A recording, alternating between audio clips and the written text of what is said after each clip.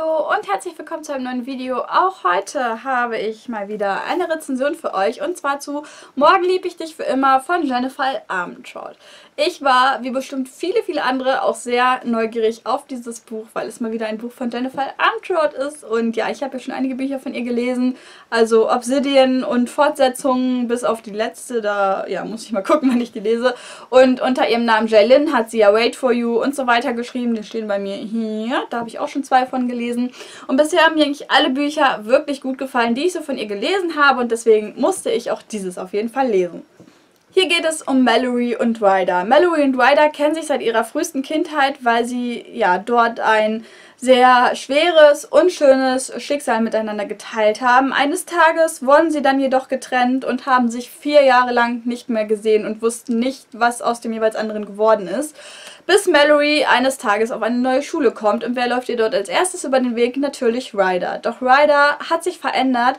Er ist jetzt ein junger Mann geworden mit Geheimnissen, mit einer Freundin. Doch trotzdem ja, ist das Band zwischen den beiden sofort wieder da. Die Verbindung, die sie schon früher miteinander geteilt hatten, ist so stark wie nie zuvor. Und die beiden suchen ähm, trotz allem drumherum ja immer wieder die Nähe und den Kontakt zum anderen. Ähm, doch dann steuert Ryders Leben auf eine Katastrophe zu und alles läuft irgendwie schief und Mallory muss ja einiges riskieren, um ihn zu retten. So viel zum Inhalt. Ähm, ich wusste ehrlich gesagt nicht so wirklich, was mich nach dem Klappentext so erwartet, außer eine Liebesgeschichte und so das übliche Drama, was man aus dem Genre kennt. Ähm, ich war echt gespannt, was sich die Autorin hier ausgedacht hat. Leider verlief der Einstieg in das Buch für mich nicht so gut. Also ich hatte echt so ein bisschen Angst, dass dieses Buch zum Flop werden könnte. Ich hatte wirklich Angst, weil ich dachte, es wäre mega schade. Nach all den Büchern von ihr, die mir so gut gefallen haben, darf doch jetzt nicht eins dabei sein, was wirklich schrecklich ist.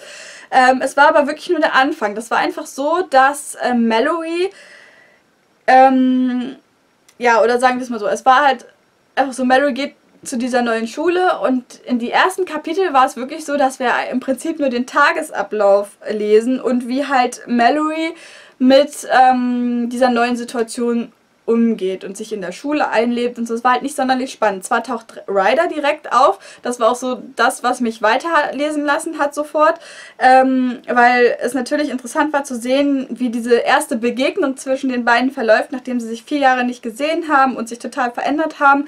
Und ich fand es halt von Anfang an interessant ähm, zu beobachten, ja, wie sie wieder Kontakt zueinander aufnehmen und wie sich die Beziehung, die sie seit frühester Kindheit zueinander hatten, ähm, jetzt weiterentwickelt und verändert. Das fand ich halt spannend und das war auch das, was mich hatte hoffen lassen, dass der Rest des Buchs besser wird. Was ich sehr gut fand, ähm, war, dass die Vorgeschichte, die sich die Autorin hier für die beiden Charaktere ausgedacht hat, ja, recht originell war. Also es gibt halt Themen in diesem Genre, die begegnen einem immer und immer wieder und nur auf, ja, mit ein paar kleinen Änderungen und irgendwann ist es halt echt so ein bisschen langweilig und kann einen nicht mehr überraschen.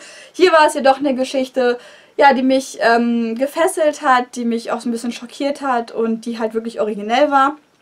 Sprich, so in der Form habe ich es noch nicht gelesen und das fand ich sehr, sehr gut und auch im Weiteren der Geschichte gibt es halt Ereignisse, ähm, die mir so noch nicht begegnet sind ähm, in dem Genre und wo ich halt echt dankbar dafür war, dass sich L. Armtrott da halt sowas ausgedacht hat, was mich auch so ein bisschen überraschen konnte.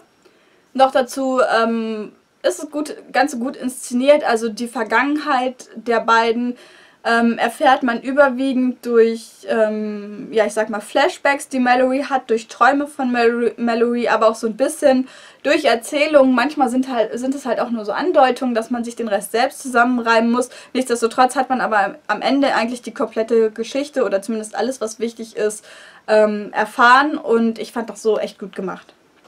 Ohne es einem halt so wirklich direkt vor die Nase zu knallen. Mallory war ein Charakter, den ich ähm, sehr schnell ins Herz geschlossen habe. Ich mochte sie von Anfang an recht gerne. Mein Problem mit ihr war nur, dass sie halt ähm, durch ihre Vergangenheit bestimmte Verhaltensweisen entwickelt hat, die halt sehr, ja auch sehr deutlich sind und ähm, immer wieder in der Geschichte ähm, Beachtung finden. Mein Problem war halt einfach nur, dass meiner Meinung nach zu viel darauf rumgeritten wurde. Also immer und immer wieder ähm, wurde erwähnt, dass sie dies nicht kann oder dass sie dies tut und ähm, jene Macke hat.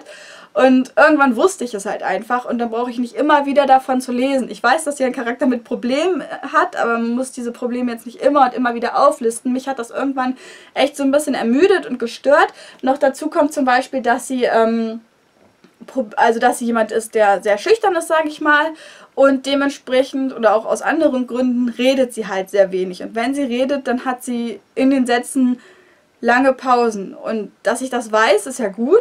Was mich aber gestört hat, ist, dass es wirklich in der wörtlichen Rede so umgesetzt ist, dass in jedem Satz, den sie sagt, zwischendurch ähm, eine Pause in Form von drei Punkten ist. Und das hat bei mir immer total den Lesefluss gestört. Und ich dachte mir nur so, ja, ich weiß es. Ich weiß es auch, wenn ich es nicht direkt sehe anhand der Punkte. Und ich kann es mir auch so vorstellen. Und ähm, also bei mir jetzt echt den Lesefluss gestört und das fand ich total nervig. Ähm, und es waren halt auch ein paar andere Dinge, die halt immer und immer wieder erwähnt werden. Und das fand ich echt so ein bisschen zu viel. Es hat sich einfach zu viel wiederholt.